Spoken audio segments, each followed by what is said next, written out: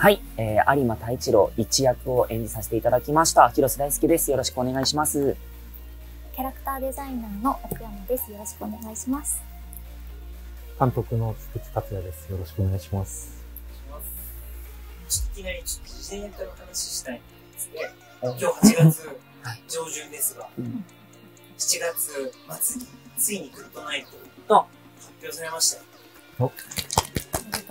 おめでとうございますお。めでとうございます。おめでとうございます。どうでした？え、出た瞬間。あ、どうでしたやっと出たなって。確かに。やっと、やっと発表になったな。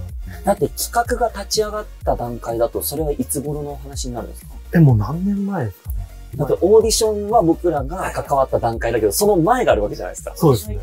オーディションが多分2年前の5月とかなんですよ、多分。ああ、もうそんな前です。ああ、確かに。多分。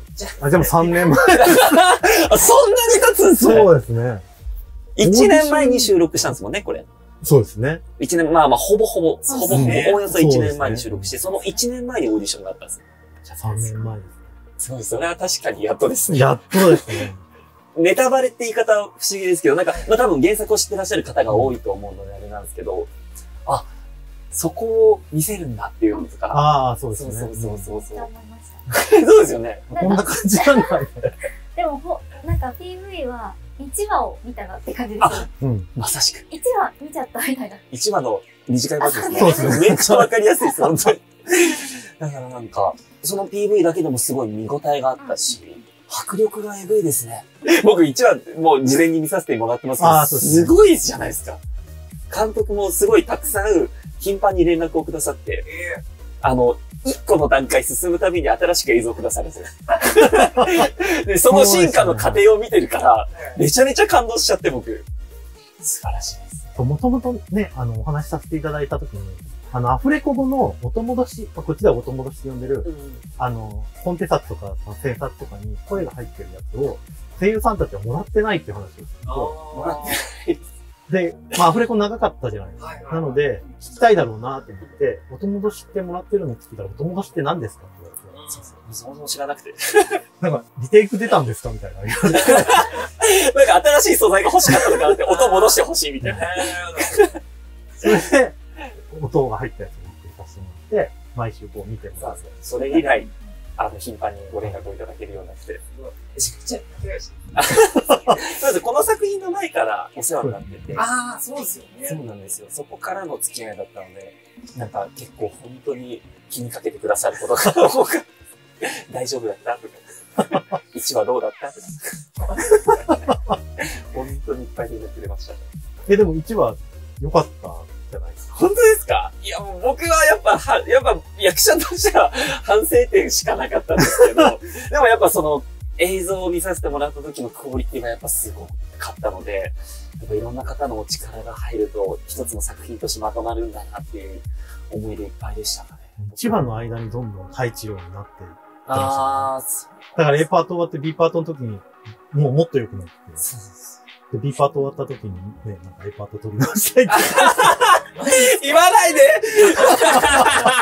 ここは使わないで使いそうだな いや、やっぱどうしても僕、あの、そのアニメの経験自体がそこまで多くなかったので、その、ましてや主役っていうところで、すごくもうガッチガチだったんですよ。あガチガチに見せないようにガチガチで。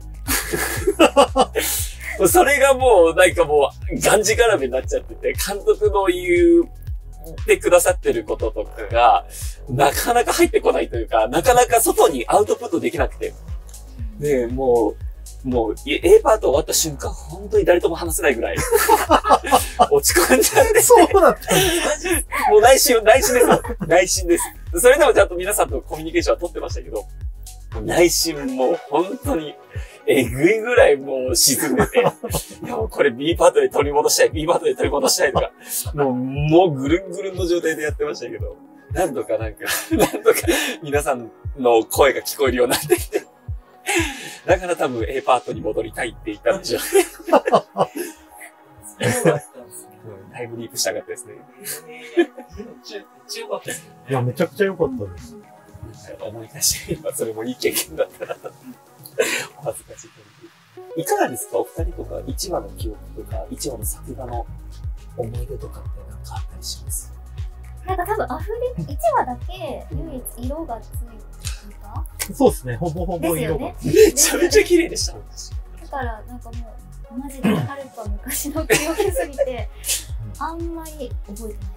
え、どこ1話担当したとかは覚えてらっしゃる？私ラストシーンを書きました。原画は。えあの、向かいに白あ、そうです、そうです。ああ、あのアップの。あ、そうです、そうです。あそこ。めちゃめちゃいいっすもん。表情ですね。私、あそこのシーンの広瀬さんの僕たちを知らないみたいな。あ、何あそこめっちゃ好きなんです恥ずかしい。よ。めっちゃいいですね。そこのなんか演技めっちゃいい。始まりって感じ。あ、そうです、そうです、そうです。物語1話です。1話、もう同じくほとんど覚えてなくて。いや、もうそうですよ。だいぶ完成ほんと前だったので。でもやっぱり1話のアフレコの時の、やっぱり、あの、岡部先生が最後のセリフを変更なさったのが、すごい良かったな。あの、なんて僕たちのし知らない声知ってい優る変更にアフレコの時になってたんですけど、あれすごい良かったなと思って。そうですね。いらっしゃっていただけて良かったなと思います。はい、えー、チャンネル登録とナズスタジオ公式ツイッターのフォローと応募ツイートをリツイートしてくれた方から抽選で寄せ書きサイン色紙とイラスト入りのサイン色紙をプレゼントします。わーい。詳しくは概要欄をご確認ください。皆さんの応募お待ちしております